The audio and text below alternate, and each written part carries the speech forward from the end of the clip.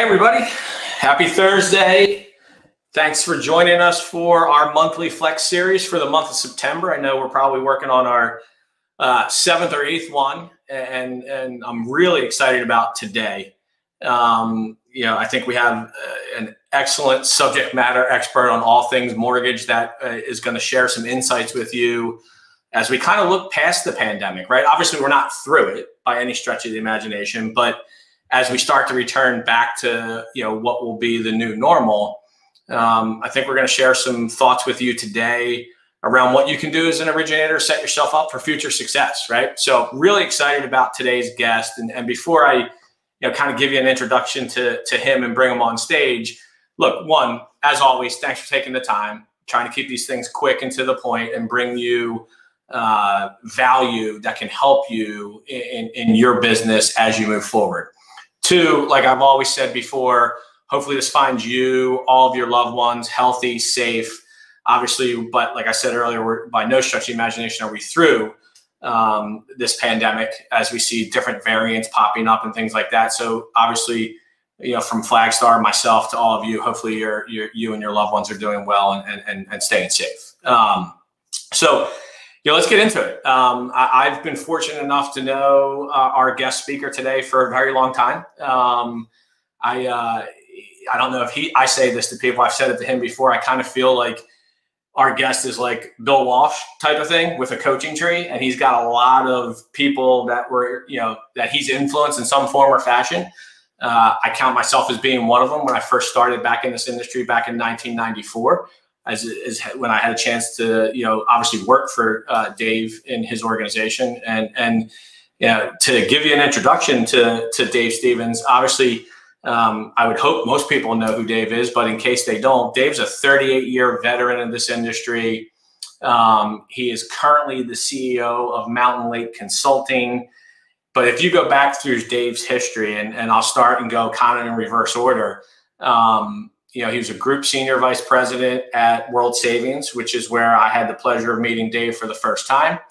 He was also then a senior vice president in charge of single family lending back at Freddie Mac. He then was an executive vice president of wholesale lending at Wells Fargo Home Mortgage. He then uh, went on into a career in and outside of the Beltway, so to speak. Um, he was the president and chief operating officer for Long and Foster uh, real estate companies here in uh, based out of the you know Northern Virginia area. He served as the U.S. Assistant Secretary of Housing and Federal Housing uh, Commissioner at HUD, and um, he was also where a lot of people, uh, if you hadn't met Dave through all of that or been influenced by Dave through all that, he served as the president and CEO of the Mortgage Bankers Association prior to uh, his current role, CEO of Mountain Lake Consulting. So, um, with that, I'm, I'm, excited to have Dave here. Let's let's bring Dave onto stage. Hey, good to be with you. Hey, uh, buddy, what's going on, man? How you doing? yeah, always good catching up with you and uh, seeing how successful you've been in your career. So um, good to be joining you and the Flagstar team. Um, yeah, hey man, we, we appreciate it, Dave. I, I, I, told you I joke around all the time. There's part of that Dave Stevens tree, and I think you you've certainly influenced a lot of people that you might not even realize. And I think I joked around about it on a podcast I did.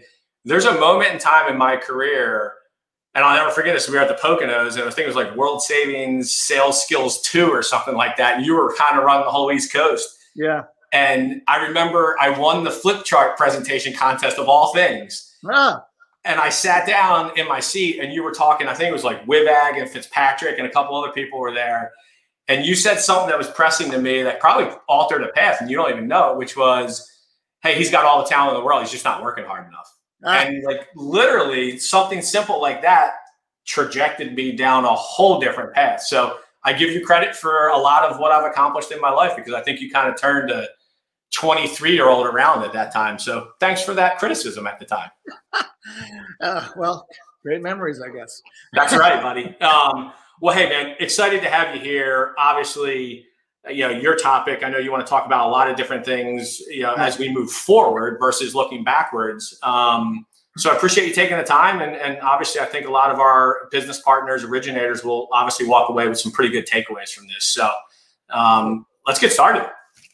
All right. Well, I, am going to share a deck, uh, Dana. If you could pull the deck up, um, I, am going to walk you through just some uh, a few slides I put together to help give you all a picture of what the market looks like today. Um, I'm hoping it works, but uh, we'll find out in just a moment here.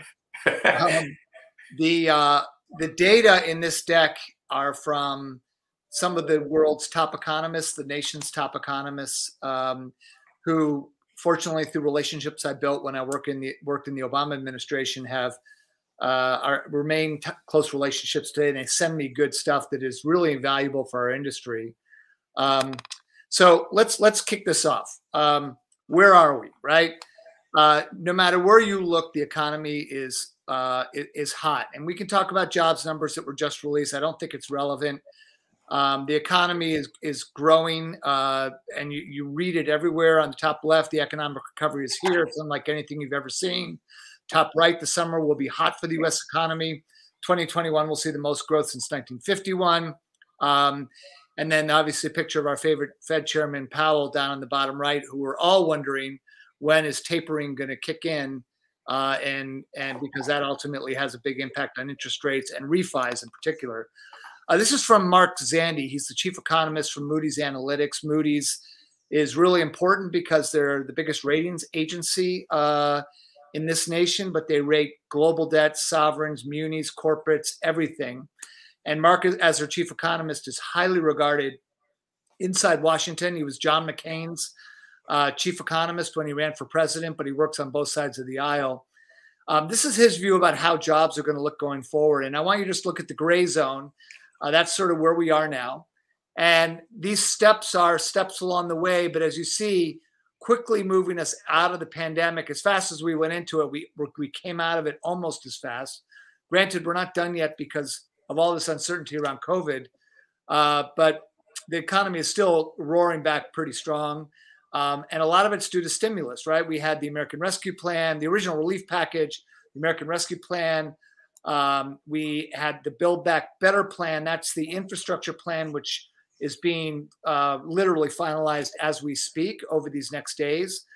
Um, and then you'll see an important uh, arrow there where, uh, at least for Professor Zandi, he says the Fed's going to taper QE. That's a critical moment for all of us to begin thinking about. Um, beginning to taper isn't rate normalization, right? If you go down out to the far right, you see where he expects that to happen out uh, a year and a half to two years out. But tapering QE means slowing down the purchases of mortgage-backed securities. Uh, that'll take out the biggest buyer of MBS in the marketplace. Uh, the supply will still be relatively strong, and uh, that will drive uh, rates up, prices down on bonds it's just a matter of when that occurs. And I know we all keep sort of wondering what's going to happen. It's been an odd couple months here with the 10 year uh, went up for a little bit and then it dropped back down. You all have pretty good pipelines, but we'll get to that in just a moment. No matter where you look, it's a quick recovery, right? This is uh, the left is employment, the right is GDP, um, but you know the the the the reality is that the economy is growing very fast. In fact, GDP is growing faster than jobs, and the only reason that's happening is uh, you just can't overnight add that many jobs to the workforce um, because during COVID, people became dislocated. They moved to different locations. They're not necessarily enough volume of, of eligible employees in urban markets and industrial centers right now. Uh, they need to go back there for the jobs, and we'll see that move forward as time goes on. But all of this means that you know we're seeing inflation, right? Prices are spiking, uh, both commodity prices and industrial prices. And this doesn't take us back just to the Great Recession. This is taking us all the way back to 1995. Um, we have a hot, inflation-ridden uh, U.S. economy, at least for the time being, that's at a pace higher than probably any of you guys have seen uh, in your career, at least the vast majority of you. And it has a lot of a lot of impacts. Here, here's one example. Um, look at auto production. So um, on the right, auto production is hobbled. Um, if you look at the green line, that's production. Obviously, all the factories shut down during COVID. They weren't considered essential workforce. Um, and now they're reopened, uh, but production is still not able to get back up to full speed. And inventories are, are, are low. And you're hearing the stories, right? Chip manufacturers, they were also gone. We just can't produce enough of the uh, uh, of the subproducts that need to be built into American vehicles. And so, as you see on the left, this vehicle prices jump. This is just one microcosm of the U.S. economy. You see it in housing. Same deal with inventory, but it's it's it's running across the entire U.S. economy. One other thing that's really driving this market is um, is the amount of cash that sits in, uh, uh in American pocketbooks right now. This is a, a measure from um, uh, Moody's, um, and uh, it's it's an interesting look at the cumulative excess savings across the in, income distribution chain of the United States in billions of dollars. And the reason why I think this is important is if you look back at January of 20, before we all shut down for COVID, Americans really were terrible savers. We had very little pent up demand, excuse me, pent up cash uh, for spending. Um, a, a, a, majority of Americans lived paycheck to paycheck. But during COVID, um, people ended up not traveling. They weren't out buying uh, second homes, at least in any great measure. Um, they weren't buying the big goods and services. A lot of manufacturing stopped, so they just couldn't go buy supplies. People stayed at home and hunkered down uh, during COVID, and as a result, they saved. And uh, we now have a massive amount of cash sitting in pocketbooks uh, in American piggy banks across the country. And I can assure you, America is a nation of spenders. They're going to spend this money. Again, stimulation point number two. Not only is it supply and demand of goods and services, uh, it's literally just pent up cash, which is going to go, which wants to be spent uh, in the U.S. economy this is our risk point. Uh, this is what we don't know what's going to happen. Um, low vaccination rates are a risk. Uh, and this gives you state by state, but we all know where the hot spots are. We're going to hear a speech from the president uh, this afternoon at five o'clock Eastern, but um, where he's going to mandate all federal employees get vaccinated, and I don't know what else will be included. But this is the only thing hampering the recovery uh, in terms of longevity of the recovery in the U.S. economy, and is supporting strains uh, being advances being advanced. But let's go back. Let's let's go back to the market and just say, okay, where are we and where are we going? The first thing you need to realize is the Fed erected a massive firewall uh, to support the U.S. economy during the pandemic. Now, this shows the Fed's engagement in the U.S. economy going back to the Great Recession of 08. And as you can see from 08 uh, to, to current environment, uh, the Fed stepped in and bought MBS and agency, which is that sort of orange color, and treasuries. Those are the two most predominant purchase uh, activities that they got into. There were three la- rounds of QE uh, from 08 to early 2020. The Fed was actually tapering. You can see the orange line was beginning to slow uh, between 2019 and early 2020. The Fed was actually slowing purchases and trying to unload assets that they're holding. Obviously, COVID hits and they double down and go in full guns ablazing. And you guys remember, right, when the nation shut down in uh, mid March of last year, um, and then suddenly the Fed jumps in and uh, all your hedge pipelines, well, at least not maybe all of yours, but I can guarantee for every lender that you may sell uh, mortgages to, um, your hedge pipelines blew up uh, because um, suddenly rates plummeted and there were a lot of call margin calls on pipelines. But you know, fortunately, the reality the, the, the reality is the Fed drove rates into the twos. You refinanced the entire universe of Americans, and you had a ton of millennials coming out to buy homes. And between the two of those things, it's been a massive volume period, particularly over the last six quarters. And the thing that I would I would suggest to all of you is this will not continue. Um, I speak to so many LOs who came into the business after 2007 and if you've been in this business since 2007, which is a, a, a ton of our industry, you just never have been, lived in a world where the Fed hasn't been involved in your life. The Fed buying, intervening this aggressively and buying this much in mortgage backed securities is a sign of an unhealthy economy. It's a truly sick economy.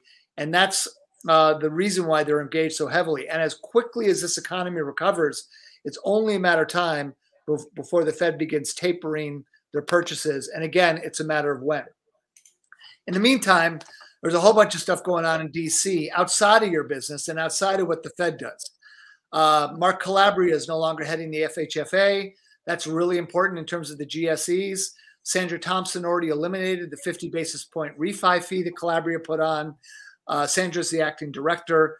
But um, on top of it, they've uh, got a bunch of rules they need to roll back. Uh, you, you're probably most aware of the second home limitation and the two to four limitation. That's why you saw a spike in rates for both second homes and two to fours after January uh, of this year when Mark uh, when, when, when this uh, amendment to the preferred stock purchase agreement That's went right. into effect. Um, but there's other aspects that uh, of rulemakings that are much more complicated because they're contractual in this document called the Preferred Stock Purchase Agreement, which is the governing document that holds Fannie and Freddie in conservatorship. I am certain that the FHFA is working on all of these things: the cash, uh, the limit on cash sales, the two of three factor underwriting rule, second homes, two to fours. Um, but it takes a little time because Janet Yellen, the Treasury Secretary, has to also agree to a modification to that document. The Department of Justice and the Attorney General have to agree because it's a legal document and they're the lawyers for the federal government. And then the boards of Fannie and Freddie, respectively, have to hold meetings and vote in favor of an amendment. So they will they will uh, be wound back. I'm certain of it. It's just a matter of when. A lot of other stuff though. Ginnie Mae has a, a crazy capital proposal on mortgage servicing rights uh, that would absolutely raise rates for Govy loans, FHA, VA, USDA uh, something that I know the MBA and the other trade groups are actively engaged in. Uh, we have a huge infrastructure bill, which right now is, you know, heading its way towards reconciliation. It's already passed its way. It's uh, passed in the Senate. It's um, uh, it's it's working its way through the House. There'll be a reconciliation process. There's also a budget bill on top of that. But I one thing that's a little scary in these bills is they're they're looking at G fees right. as pay fors uh, for efforts, and it's written into the legislation as it stands now. And frankly, I believe we've lost that battle. I think there will be this 10 basis points it's written in. Um, we have an appraisal discrimination effort headed by Secretary Fudge, but a lot of big names in DC are working on it. And then we got a bunch of housing bills. Uh, first time, uh, uh, first time homebuyer bill from Maxine Waters in the House. Uh, Senator Warner from Virginia has a bill called Lift in the Senate, which is a different kind of housing bill. Uh, Blumenauer, who's on the Ways and Means Committee, has a, has a down payment assistance tax credit bill. And then the White House just in the last few days introduced their complete housing plan about how to create more affordable housing units. So, good or bad, there's a lot of focus on our industry uh, that's going on in DC, and it's why it's really important also for industry to be engaged. So, let me tell you what you already know. The housing market is severely undersupplied uh, and the supply shortage is intensifying. Um, without going into a lot of depth, all I would just say is uh, we haven't seen uh, this shortage of housing units, this low in inventory of housing units in terms of months supply going back decades. And uh, so this is a really unique time. You know it all too well in terms of what's happening. Um, to get a home, you got to be superhuman, right? You got to have a big down payment. Non contingent is best uh, if you can. Be ready for bidding wars on good homes. Um, and the articles are showing it, right? Home buyers in 2021 need more cash, face more competition. The Wall Street Journal reported a month ago many home buyers a 5% down payment is enough. In fact, over half of all home buyers put down 25% or more. How hard is it to buy a home right now? Beyond crazy and frustrating. Uh, this is what you you know you all know too well. Your buyers are facing that, um, and that's a big deal. And that's causing this massive home price appreciation that we're seeing in this country. So this is CoreLogic's data. It came out uh, day before yesterday. Um, this is month over month, August over previous year. Um, and as you can see, year over year, home prices appreciated 18%. Totally unsustainable, out of control, home price appreciation. If you look forward in terms of what they expect home price appreciation to do, they're looking at closer to a 3% year over year rate going into next year. Guys, you should view this as a good thing. Uh, any economist will tell you that home price appreciation needs to be in line with wages. Uh, when you get way out of the box, like we've been in over this last year, you're headed towards problems in the housing market. Uh, so the fact that this is going to normalize is a positive thing. And the fact that it's a positive number is an important one to, to be aware of.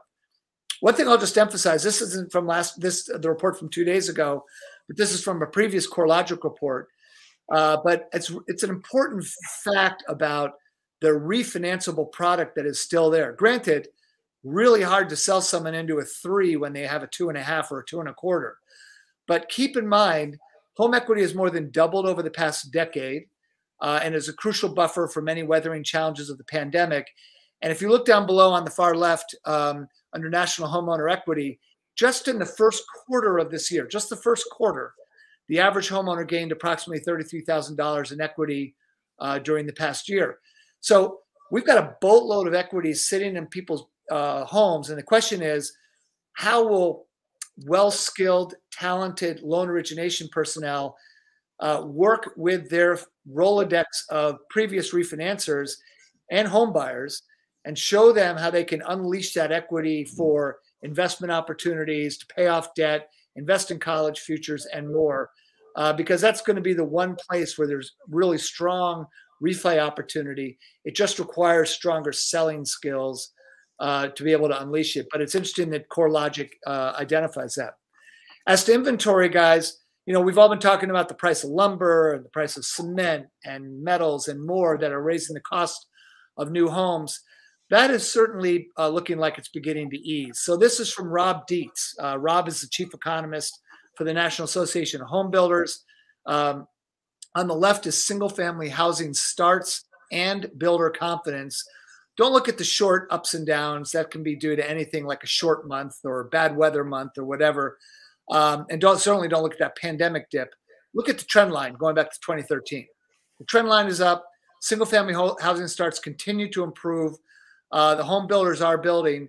And the good news is that lumber prices are easing again. So uh, you heard about that package that the, fixed cost you had to consider adding on to the price of a new home of about $33,000 uh, recently. Well, that's because the CME future prices, that's random length lumber prices, that's literally the index that includes two by fours for building homes, um, went from about 600 up to 1700, uh, and people were freaking out. Um, frankly, in Canada, uh, lumber workers were not considered essential workers. They weren't even cutting trees during most of COVID.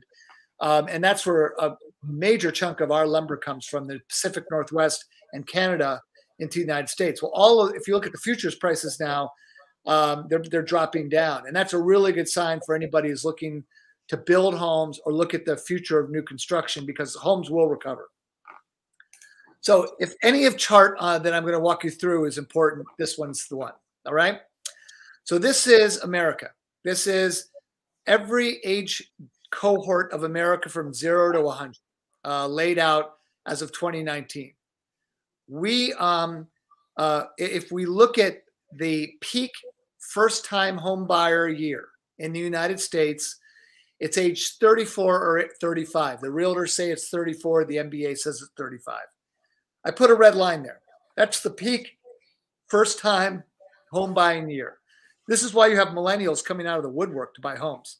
Um, it's not just the low interest rates, it's that we're in peak, the peak demand cycle of the biggest generation in the history of this nation. Now look to the left. Look at every year coming at us for the next decade. They're either going to be the same as this year in terms of demand or bigger. And in some cases, significantly bigger if we look out four or five years from now. Um, people ask, say, well, how, how come we're not going to have a crash like 2008? Well, 2008 was uh, about 13 years ago, right? If you go to the right from age 34 uh, to 47, just sort of run your eyes over to the 45 plus age group, that's Gen X. That was a smaller generation. It was smaller than the millennial generation to its left and the baby boom generation to its right. Um, we actually had a loss of housing demand hitting us right when the Great Recession hit. And that's why home prices dropped. This environment is entirely different.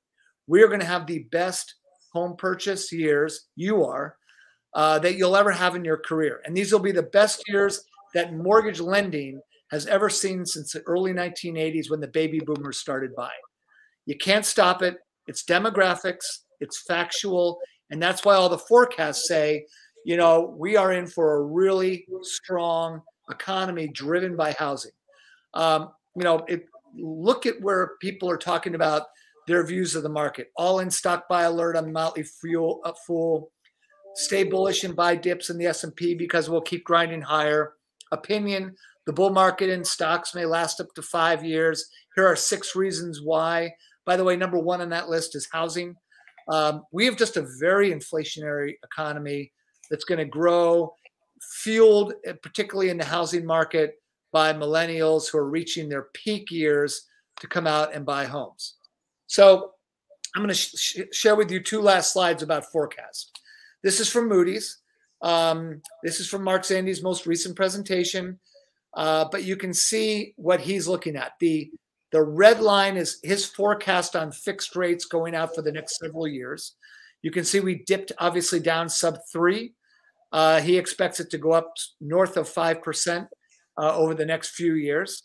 Um, but purchases really don't aren't maligned, right? If you look at the purchase uh, purple or blue, whatever that is, that continues cruising along really nicely. Refis are going to get crushed. And if you look at those peaks in refis and uh, from last year in particular, last year was the biggest year uh, in mortgage origination history, matched only by 2003. Um, and this year is going to be a really good year as well but we're going to see overall volumes drop. And so bear with me if you have to squint. But this is the MBA forecast, very consistent, uh, very consistent with the the, uh, the the Moody's Analytics forecast. And um, I just want to highlight a couple of things. The first underlying line is look at 30-year fixed rate loans. Expected ended last year uh, just under three. Expected to end this year in the mid threes uh, expected to be up north of four next year and close to five the following year. Now, I say that to you because that's very consistent with where Professor Zandi is as well. Mike Fratantoni, the chief economist at the MBA, is one of the smartest economists in this nation. Uh, and his view is similar to literally any other economist you look at in terms of what's going to happen to rates. Now, four, four handles freak people out, uh, but I just want to emphasize that uh, in a relative sense, four is still near historical lows. And so uh, don't worry about rates, worry about volume. And so if you look below that and look at mortgage origination volume, I just want to emphasize that overall originations are going to drop, we did 3.8 trillion last year, expected to do about 3.6 trillion this year, loaded in the first two quarters for the most part. Uh, next year's going to be a drop of 1.2 trillion dollars, all in refinances. In fact, if you look at purchases, just the line below that, uh, last year was 1.4. This year is roughly 1.7. Next year is roughly 1.7 and a half. Following year 1.8. Steady, consistent increase in purchase activity. Massive, significant declines in refis. In fact, 2.4 trillion in refis last year uh, looking at roughly around 600 billion next year. And that's really going to be the challenge uh, for our industry. So let me close with this, guys. Um, we have years ahead of strong purchase demand. Uh, the reality is demographics matter. Um, uh, and that demographic slide should tell all. If I'm going out to realtors and home builders, I would share that slide and talk about what great years they have coming at them for, for years ahead. Great time to be in the business if you're in home purchase. Uh, new home building is only going to increase. We're already seeing it. Uh, new housing starts have been up and supplies costs are going down. I think we're going to see a different trend in listing volume. We're probably already seeing it a little bit as we speak. Uh, but a lot of folks didn't list in a normal spring market this year because we were still masked. And uh, so this, uh, the view is by many that we're going to see a lot of homes come to market in the fall, and next spring will be a really big listing volume of resales as people go to lock in equity and deal with the pent up demand that they didn't execute against, particularly retirees and baby boomers who are ready to move to a different environment. Uh, despite rates, demand won't slow. Um, you see that in every forecast, and, including the ones I showed you. Um, sellers are going to get fast contracts at great prices buyers have years of home price appreciation ahead. I, th- I think in the end, this is really about for our industry reinventing itself from some cases going back to basics uh, and remembering what it's like to be solely a purchase loan originator, and remembering that uh, you know we are what we repeatedly do. Uh, excellence is not an act; it's a habit. And in my view, uh, where the washout will come as the industry contracts will be from those that had too high a percentage of their business dependent on refinances, and frankly, didn't invest the time to build relationships on the purchase side. It's still going to be a tough market. Margins are going to contract, uh, but there will be winners and losers in our industry. Some companies that are centralized call center design that did nothing but refis, they're going to be hit a lot harder than what I hate to describe it any other way, but classic origination uh, street LOs that work relationships uh, with referral partners. And so that's kind of the scenario we are. I'm going to stop sharing.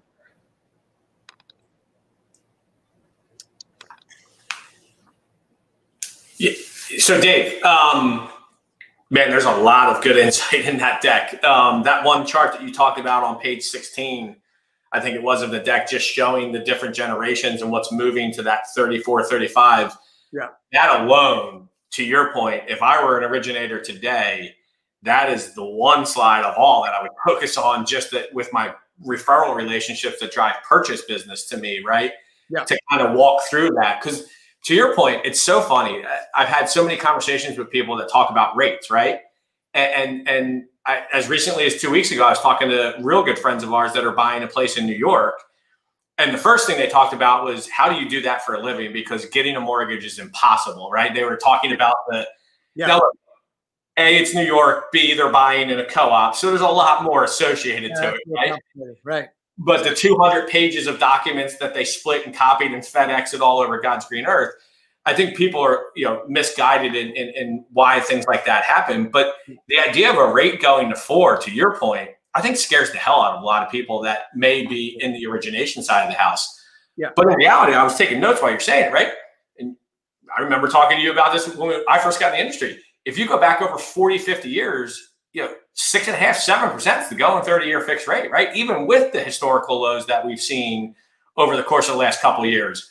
Yeah, so I'll tell you, I got my first home with a 13 and a half percent. um, and so, you know, it's all, it's all a matter of, of perspective, but yeah, I mean, it does, I think, I think what's going to happen in our business here, and I, I think it's scary for many LOs who, you know, got so used to this massive volume that we had over the last six quarters, five quarters.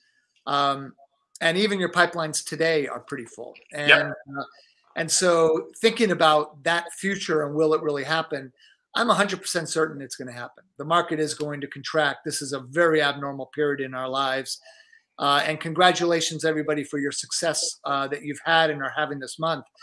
But you need to, you know, our whole industry needs to retool. And um, I know, you know, one big money center bank um, that doesn't has retail loan officers, but they spent the last year basically all their LOs refinancing their own book. Uh, they don't do a lot of purchase activity uh, because that's just not what they do for a living. I mean, typically, you know, brokers, uh, independent mortgage bankers are uh, do more loans per LO uh, than bank retail, and and so um, I think in the as we think about how this is going to wash out, there's going to be some difficult rate baiting activity that's going to occur. People are going to be faxing to your realtors the rates that seem impossible, originating at a loss, all of that kind of thing. And uh, I just think it's important to recognize that these are the last gasps of folks who have no other way to survive because they never really built the relationships or invested in what it takes to be uh, providing the kind of service that a real estate agent depends on. But I, let me just say this one point. Um, you know, a lot of real estate companies live and die on this kind of information. I literally got a call from a, uh, a senior executive at Compass. Next Wednesday, I'm doing uh, an event for multiple states of Compass, and it's going to be basically a deck like this, a little more retail realtor focused. Sure. Definitely that one slide is going to be in there. And um, information is power. Information gives you a reason to go talk to a realtor with something other than just what's today's rate. That's uh, right. Or what your niche product is. Everybody else already has that niche product, and uh, that's right. You know, and so um, these are these are tools that you you become a valuable source of information. And this is the kind of information that a real estate agent may say, "Hey, could you meet with my a client of mine? They're really afraid to go buy a home right now. They think this is going to slow down. This stuff could really help. I mean, that's where you end up becoming that needed partner in advisor advisor, right, Dave? I mean, that's where you're not just a loan officer quoting rates and talking turn times and guidelines. You're actually bringing value to the relationship, and you're an actual advisor. Right. No question.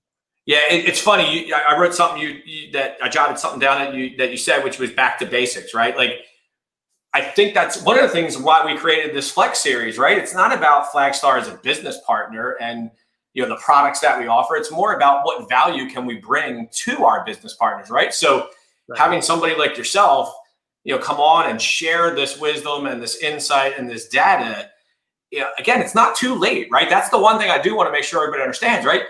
To your point refis are still relatively strong. We've seen a trail off in refi applications week over week for a period of time but they're still at pretty good levels and and to your point on the one slide there is a lot of pent up equity that again as an advisor, if you're walking your client, your borrower through, you know, consolidation of debt, college education, insert whatever that may be, there's an ability there to still provide value from a refinance transaction. But we've yeah. always said this, right? Purchase is the lifeline of your business, right? Rates are cyclical. This just happens to be a longer cycle than normal, right? In a period of time that we're going through. But purchase is the strong suit of what the foundation of your business should be. And and back to basics is that type of stuff, right? It's building the relationships, but how do you do that? You do it with yeah. information and knowledge. And, and the thing I, I constantly emphasize folks is whether the Fed tapers or not, it doesn't really matter because eventually we will have refied everybody who, who can get a three into a three, and that's going to be it, or whatever the two and three quarters, whatever your number is today. That's right. All of them, everybody will have gotten the loan. The loans will, there'll be less of them available they'll be harder because uh, people didn't, you know, if they didn't do it before, there's oftentimes a reason for that. Uh, and um, and so it, we're going to reach what's called burnout. You burn out your coupons, the current coupon, uh, even if you keep rates level for an extended period of time. So look, one way or the other, this market's shifting. It's still a great business, and um, I think it's really important for any, you know, mortgage broker, any loan officer who's looking at their own business everybody doesn't operate the same way, right? We're oversupplied with lenders and loan officers right now, but not all lenders are the same. Uh, some, as I said, are centralized call center refi operations, and they're just not going to do as well, right? Because uh, even to this day, we're not in a world where realtors are comfortable handing off their new home buyer to somebody on an 800 line on the other side. They like to know that the person they're working with, they can trust and they're going to get the job done. So, um, you know, in that sense, I think just having a healthy view about a market shift and what you need to do as an individual to kind of reinvent yourself and your business model and uh, and and and and don't let up and and John is you know as I taught you and I taught anybody who I ever taught in sales rejection is the game. Like That's a lot of folks, a lot of folks can't handle rejection. Even a lot of top LOs have told me recently, they're they don't want to go back out and beat the streets again. Uh, they just can't handle that. And I hate to tell you, that's the way sales happens, right? You go out and you talk to folks and you get rejected. Uh, but all you need is a couple of glimmers of hope uh, every day if someone says, "Well, I'm, you know, I'll, I'll think of you next time," and if you That's can right. first in line, uh, line of sight, the first person they think of when they get their next buyer or prospective buyer or whatever, um, you know, you'll be in a good place. But it's been a great couple of years, and we should all relish in that. I just think understanding where we're heading going forward is important, and knowing that the purchase market is not going to be the suffering point here. So as you talk to realtors, they're feeling good. That's uh, right LOs in general are not going to be feeling as good because everybody did at least, you know, 20, 30, 40, 50% of their business in refis, and that's going to be cut by two thirds. So that, that's right. And look, a couple questions came in too, Dave. One of them was about the charts and stuff. So somebody asked a question if we'll be able to, to get this to them. The answer to that's yes, we have it. We'll make sure it gets out to you after we're done. Ryan Chambers from Midwest Capital Mortgage wrote, um, curious to Dave's thought on if builders will be behind the eight ball for a while. I know we talked about labor and lumber and all that, but any thoughts on that from your perspective, Dave? Yeah, I mean the builders. I, I, I there's some there's two great resources for looking at builders. Ivy Zelman in New York, who she covers the building industry. She's she and her firm are, are highly regarded in this space, and Zandi looks at them also. The whole team at Moody's Analytics. The building market will recover, um, but you're right. We had a whole lot of things hit the building industry at one time, right? statewide shutdowns and people couldn't go to work, so people just weren't hammering nails. Um, people weren't cutting trees. People weren't making cement. People weren't uh, producing metals. All of that is critical work that uh, built up inventories of goods that are used and needed to build homes. Second, which was labor, and I'm, this is not a political conversation, but I do, you know, whether you like it or not doesn't matter. There's going to be two million more immigrants coming in per year uh, over the next few years than there were the last few years a lot of that is manual labor, and uh, and those are people who can come in and, ha- and hammer nails. I've got a guy builder here uh, near near me that talks to me all the time about his business. He's been building homes for 30 years.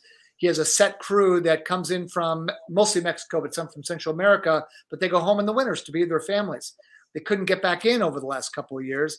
He lost his experienced trade skilled uh, workers that he needed to build homes. They're all here now, but you know, it's an interesting uh, dichotomy that we face when we try to mesh politics and policy with home building needs and and good costs of goods and services. But I, I will say, in the, in the end of the day, the builder, the simple answer is the building market's going to recover. It's going to be slower. And as, as you look at builder stocks and earnings releases, keep in mind, guys, that they can't get homes to market and sold under the time frame that they may have promised or forecasted to their shareholders in a previous earnings release, right? So if Brothers or Pulte, you know, announces a forecast of X for Q3, but they still can't get these homes built completed because they didn't get the goods or the labor in time, that pushes out that sales volume. It's still going to close.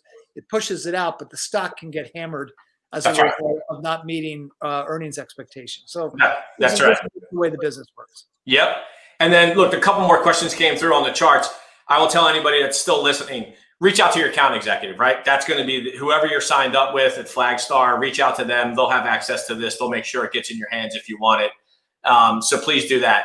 Um, and, and, Dave, before I thank you and, and, let you go, I do want to give you a, moment in time, right? So those of you that might not know you well enough or know you at, you know at all, um, you know, obviously back in 2016, you got um, kind of a, uh, you know a health crisis scare situation that came to you in the form of cancer. And I know you've started um, Stevens Strong's been going on for a while right now, and there's been some exciting developments and stuff like that. So I wanted to give you a second just to talk about that um, with the group. Oh, thanks. Yeah, because we're th- thanks, John. We are launching our. Uh, this is obviously a setup because the banner we already pre-made, but the the, uh, the uh, we are launching a, a, fresh Stevens Strong drive. Uh, we launch it the day after Labor Day because uh, September is Prostate Cancer Awareness Month. I have the kind of can- prostate cancer that's not curable. Um, uh, it's metastasized, and similar to any cancer that metastasizes, which just means it's spread, whether it's breast cancer, glioblastomas, or liver, or whatever. You don't kill it; you just play a game of whack-a-mole uh, for years to come. And the good news is that there's, in some cases, there are medical advances.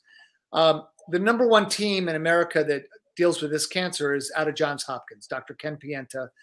Uh, and I started my first drive in 2016. My wife and I did. We've now done five years in a row uh, of drives. This is now the, technically the 2022 drive fiscal year. Um, but over the five years, we've we've raised millions of dollars from the mortgage industry, literally millions of dollars, and have bought allowed the Hopkins team to buy very sophisticated equipment that has made an outrageous breakthrough discovery. It's in that link. Uh, if you just go look at the site, it'll tell it about it briefly. Um, that discovery is so exciting to the entire medical community that 40 researchers now have joined uh, Ken at Hopkins from other places. The guy, the professor who hold, holds the Einstein seat at Princeton University left Princeton to join Ken Pienta on this research. But what's great about our drive this year, uh, I call myself the little Susie G. Komen of the world. Um, uh, our Stevens Strong campaign has, ra- has raised so much awareness that the Prostate Cancer Foundation, which is headquartered in California, uh, came out and said, We want to match Stevens Strong. And so, dollar for dollar, they're matching our campaign. Um, and so, we raise a million, they add a million. Uh, it's an incredible opportunity, and every penny of every donation goes directly uh, to Dr. Pienta and his research organization, not for salaries, but for research and uh, uh, so it's a, it's an amazing opportunity. Um, what he's discovered as in terms of why cancers spread and don't die from chemo and radiation the way sometimes you think they do is a cell called the keystone cancer cell. Well, they found that cell now in uh, breast cancer patients, in stomach cancer patients, and more. Uh, and so this this this this this unique element, if they can figure out how to kill it, which is this massive de- development that never existed for decades in looking at this kind of cancer. Uh, if they can now find a way to kill it, it'll apply to multiple cancers, and that's where all the excitement is. We launched a campaign this week. Uh, we've raised well over a million bucks so far, actually about 1.4 million. Gotten hundred thousand dollar donations from CEOs of mortgage companies, and then rank and file LOs are doing you know hundred dollars, five hundred thousand, whatever they can give uh, because it all goes to a great cause. And it's the mortgage industry doing this. So it's a, a real, very cool thing.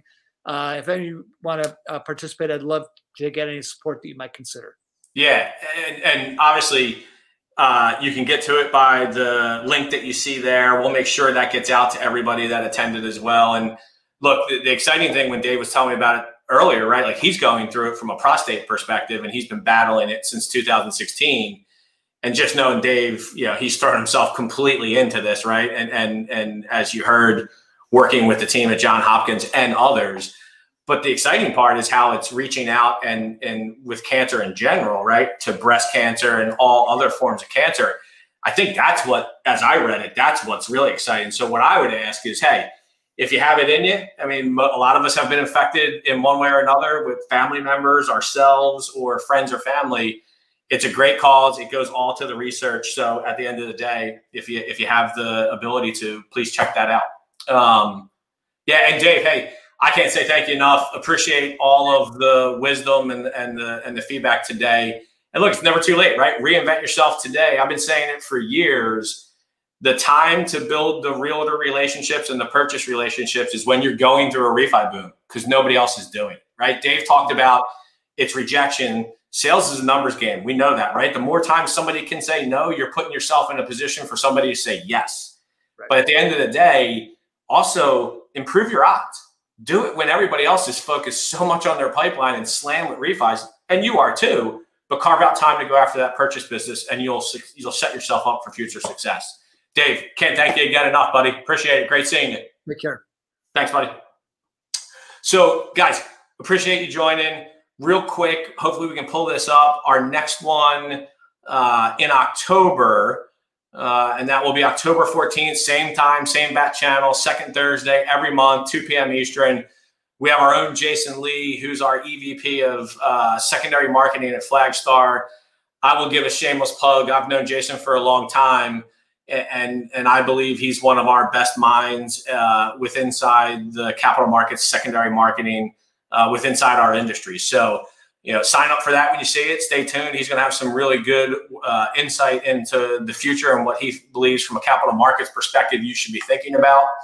Um, but again, can't appreciate enough for joining. Again, if you want any of the charts that you saw today, reach out to your account executive.